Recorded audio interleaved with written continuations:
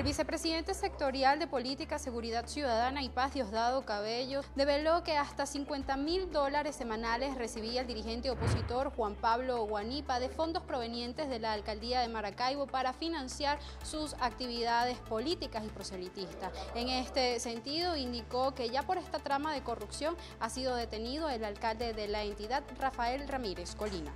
Juan Pablo Guanipa, si tú quieres, sales a desmentir esto y voy a contar en qué gastabas esa plata. Puedes salir a desmentirlo. No lo voy a contar yo, lo va a contar tu hermano. Soy hermano de Juan Pablo Guanipa y Tomás Guanipa, líderes políticos del partido Primero Justicia. Y quiero manifestar a través de este video que tengo conocimiento del financiamiento que se le hace a las actividades políticas de mi hermano Juan Pablo Guanipa por medio de la alcaldía de Maracaibo. Ese financiamiento asciende al monto de 6 mil dólares mensuales que son que eran al principio entregados en efectivo a mi persona y yo se los hacía llegar. Habla que desde la alcaldía le entregaban recursos, él habla de 6 mil dólares mensuales, en verdad son 50 mil dólares semanales. 50 mil, ¿de dónde venía esa plata?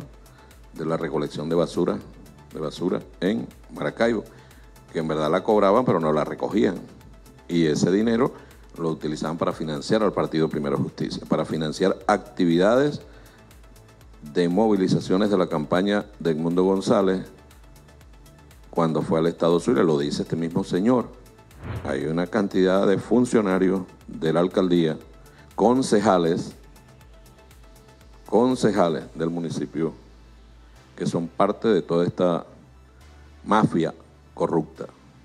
Y con toda seguridad, no tengo ninguna duda, estos vínculos van más allá del pago de, de, una, de una tarima, de un sonido. Esto tiene que ver con los hechos de violencia que se manifestaron a lo largo y ancho de Venezuela y en el Estado Zulia en algunos sectores.